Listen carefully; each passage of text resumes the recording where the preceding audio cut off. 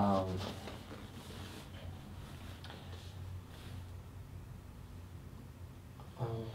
Так, в общем, год был тяжелым, но мы все с этим справились.